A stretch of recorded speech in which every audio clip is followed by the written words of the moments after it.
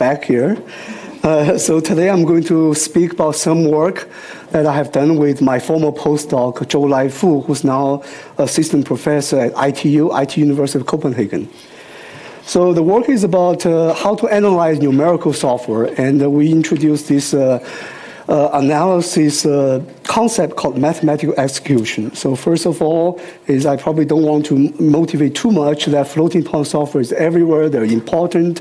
Bugs in them can cause to dis- lead to disasters, and they're really hard to get right. Why they're hard to get right is because a floating point arithmetic is very different from like uh, you know semantics in real numbers that we're used to, and also there's a lot of linear functions and also transcendental functions like sines, log, exponential, these kind of things. If you look at this piece of code here on the right, looks very simple, but if you're trying to say general inputs, try to cover all the branches, it's actually very tough. And all the pretty much existing known approaches will find this challenging. So now we have this very important problem, very hard. How should we try to make some progress? So here is our idea, and we call ME, mathematical execution. So the idea is that we're trying to formulate a analysis problem on numerical software. So here we have a program P, that's a numerical code, a property we want to check against this program. So the properties can be, you want to say, I want to find all the inputs, try to cover all the branches. I want to find all the boundary values so I can do some additional testing. Or want to find detect runtime floating point exceptions, underflow, overflow, that kind of things. Or want to solve floating point constraints. So now we have this problem we want to solve. And the idea is that we're trying to map this to a floating point program we call R, and then we can uh, solve this R using mathematical optimization. So the property we want to have is if we have an input that drives P to satisfy this property, if and only if the X minimizes this mathematical optimization problem R. So that's the goal we want to achieve. So we want to turn one problem to another. And uh, so I want to illustrate this concept ME using two instances. One is how to solve floating point constraints. The other one is how to perform coverage-based testing. For floating point constraints, let's look at this one here. So we have sine x equal to x, and we want x to be smaller or equal to this tiny constant. And uh, in terms of real numbers, this is clearly not solvable. But for floating point, this is solvable. Okay, so you also illustrate the difference between uh, uh, floating point semantics and real semantics. Okay, for real, because the only solution for x is sine x equal to x, x has to be zero. Okay. So here's the general procedure. Now we have a constraint pi, and we want to find all the models of pi. What we do is we want to construct a floating point program R that measures the distance of how far x is to that set of models of x. And doing that, we simulate the constraint with a floating point program R. We require R of x at every point to be non-negative. And also if Rx equal to zero, then we guarantee that x should satisfy the constraint. So that's what we want. And uh, so if we have R with this two conditions, and then we can just try to use minimize the R using mathematical op optimization techniques. And it's guaranteed that the constraint pi is satisfiable if and only if that uh, you know x star this one minimizes the R equal to zero. So now the question is how do we construct this R to have these two uh, conditions? So I'll just illustrate this with a few constructs. It's a very simple reduction. And if we have, uh, imagine that our constraint is uh, in a conjunctive normal form, pi, and one construct is R from the formula, okay? So suppose we have two floating point variables, x is equal, x is equal to y, and then we just produce x minus y squared to measure how far they are. And if x is less than or equal to y, we use this C ternary construct. So if this condition holds, then zero, otherwise measure their distance. Okay, very simple. And then if it's a, if it's a conjunction, it's just a sum. Disjunction times. So if you stare at this for a few minutes, a few seconds, you'll be convinced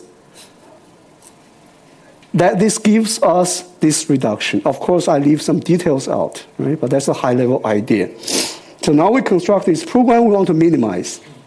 And uh, so the idea is we want to, because the way we construct this R, we can apply local optimization to find the local minimum quickly.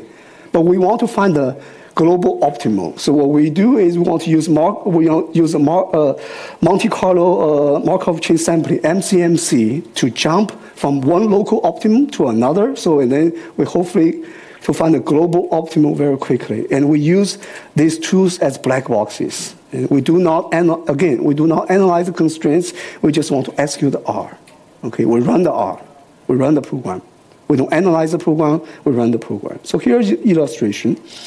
And suppose we start from this point, we use local optimization to quickly go into this local minimum. And then we use MCMC sampling to jump to another point, and then hopefully we go to a global minimum. If that's zero, that means we have found a model for the constraint. So that's the idea. All right, just want to restate some quickly. This is a very uh, straightforward theorem that we have this guarantee. And of course, there are some caveats. One is that, you know, do, because we're running the program, we're still using floating point numbers. So there will be some inaccuracies coming out of that. And also, may, we may not be able to find a global optimal. Okay. And let me illustrate this just using the example constraints we have. We turn these uh, two clauses into this one here. And then we feed this to the mathematical optimization, will give us this, this one. So we find a model for this program. So very simple. Okay, so the idea is very simple. We write there are some details in the uh, CAV paper we published in 2016. If you're interested, you can take a look or ask me. So our realization called XSat. And uh, so we evaluate this against two state-of-art solvers, MathSAT and also Z3, and uh, use the SMT uh, floating point benchmarks. We get 100% consistent result as MathSAT, and then the performance is much, much better. Okay, about three orders of magnitude faster than the other techniques. Okay, so that's pretty much the general idea behind mathematical execution. That is, we turn the analysis of floating point code into a floating point program so we can run and try to optimize. Okay. All right, and then this idea can be generalized to various other things. Suppose we want to do a coverage-based testing. That is, we want to cover all the possible branches in the program all the realizable ones, or we want to do boundary value analysis, detecting floating point exceptions, or detecting path um, divergence. For example, maybe in the floating point one, somehow you take this control flow path with the same value. In the imagine we have a high precision arithmetic, they take a different control flow path. And the next example I want to show is how to do a coverage-based testing. Okay, and the goal, again, just to repeat, we want to find all inputs that try to cover all the possible branches of a program. Okay, and this is tough. If you look at this piece code, it's really messy. You probably don't really want to look at this. Yeah, it's, a, it's a, from, I think, a Sun Math library. And it's a very popular library. It has a lot of things. There's a pointers, there's like a typecasting, bit operations, all these kind of things. You really don't want to analyze this is terrible. Okay, so, and uh, of course, there are two standard techniques doing symbolic execution. Okay, and we don't know how to solve floating point constraints. That's really tough. There's also the path explosion problem. And of course, we can also do search based like testing and using AFL like AFL fuzzer, we can do that. But there is how do you define a fitness function is very tough. And also what kind of search strategies do we use? And uh, so the approach based on mathematics execution is we're not going to have these path issues, but you know, actually we'll have some of that. And we don't need to solve constraints because we run the program. And uh, so it's quite effective for floating point programs. Let me illustrate again. Same idea is we want to, so here are the inputs that cover a new branch in the floating point code. And here we want to measure how far given an x how far is it to that? Okay, and we'll, again, we construct, given a program full, we construct another floating point program full R to achieve this. That is, again, on all possible input is non-negative, and then if it's zero, that means the input X covers a new branch in a program that we haven't covered. So that's the goal, and we repeatedly run this and try to cover another branch, cover another branch, okay? And then we terminate. All right, let me illustrate. So here's a high level. Suppose we have this program full, that's a given input floating point code. And uh, then we're going to instrument the code in a way like this. I'm not sure how, uh, yeah, I think you guys can see. Is we're going to insert this penalty function we have this global variable r that measures this distance, and then at each branch point before that, we insert this penalty function. Okay, the penalty kind of like intuitively measures how far this x is coming from to cover an additional new branch. And there's a bunch of cases. So the, in the first case, if neither the true and false branch is covered, then we return zero because we know we're going to cover one of the branches. Okay? And if the true branch is saturated, is covered, and the other one is uh, the fourth branch is saturated, but the true is not, then we return this one that measures the distance. And there's another case that's a dual. Otherwise, if we, if we kind of like covered both branches, we just return whatever, whatever R is. And we do similar things in this case. Okay? So that's the high level idea. I mean, you don't need to pay as much attention to the details. Once we have that, is we construct this program. We call this a representing function. And then we have this full of R. We initialize R equal to zero. And then that's our instrument program. It will return the R. And our goal is to iteratively find the input that gives R equal to zero. Because then we guarantee we cover a new branch and we repeat. All right, so let me illustrate. We have this little piece of code from the beginning, and uh, we want to cover all the four branches. And so we have this representation here, and then we start by looking at this penalty here. We have this penalty function, two branch points. And then we decide. So we have these two labels, L1 and L, uh, L0 and L1. In, in this case, because uh, it falls into the first case, that's you know, the true branch and false branch, none of them is covered. So in that case, we return R equal to zero. So that's easy. So any random input X will be able to help us to cover that. And imagine, and uh, so let's see. Oh, let me skip.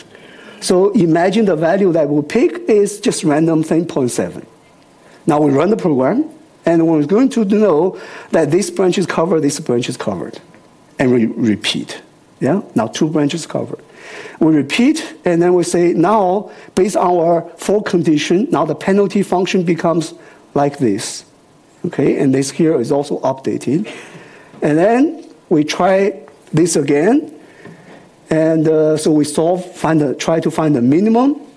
And in this case, uh, let's see, and the value we're going to find is 5.1. Okay, and now with that, we cover this branch. Yeah.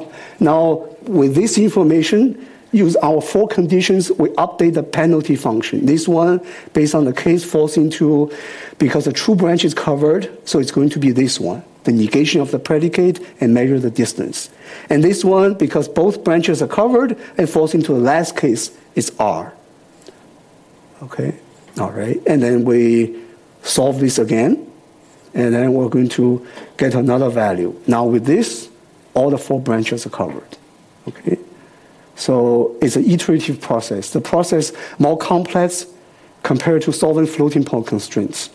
Yeah. So here's every time we generate the new penalty functions based on our four cases, and then and we run this mathematical optimization. If we find a zero, that's going to cover a new branch, and re we repeat this process. That's how we do it. Okay, clear? All right. So, and then we build a true based on this, and uh, so front end is using like uh, you know a Clang uh, infrastructure and uh, so we use LLVM, and then the backend is we use Basin hopping for MC-MC sampling. And the experiments, kind of like the hairy floating point code I showed you from the Sun uh, floating point library, And uh, so that's a very popular one and use a, I mean, has a lot of like uh, branches and code. Okay, so for comparison, we'll compare this with, uh, that's really a baseline random testing, right? Because you say random testing is the most obvious thing to try. And the second one is AFL. And the third one is uh, one tool from University College London, UCL's Austin tool is search-based testing. And then also CoverMe, this tool that uh, we implemented. And, uh, and as you can see, is we can cover very quickly 90% of the branches. And of course, you can say, how come you guys cannot cover 100%? And the reason is because some branches, no matter how hard you try, are really not feasible. Okay? And uh, we cover with one tenth of the time, covers 18% more of branches compared to AFL. And compared to Austin, we cover a lot more branches. Okay, and the speed up is really fast, several magnitude, uh, orders of magnitude. Okay, so I think I went really fast. How fast? Okay. Uh, seven minutes. Oh, seven minutes. Okay, not, not, not as. Okay, all right.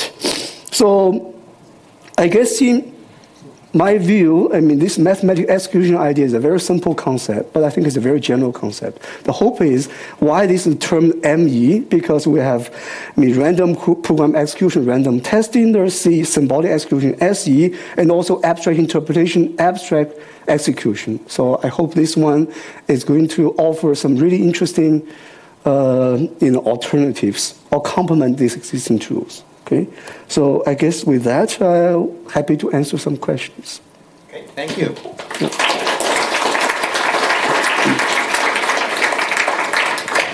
Who wants to start? Yep, Alex.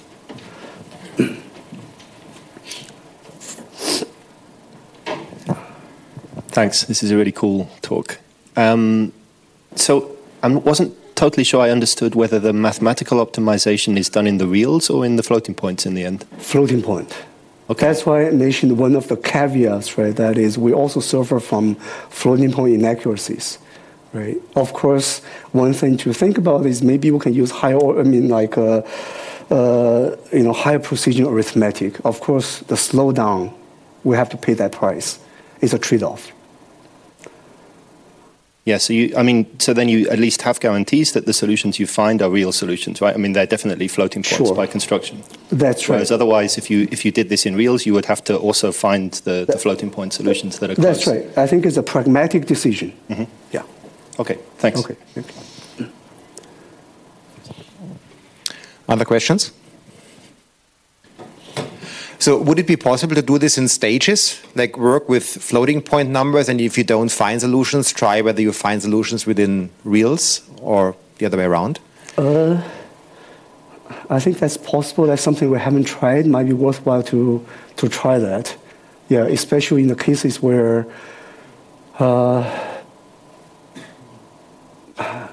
yeah, it's, yeah, the benefit is not clear, but something interesting to explore.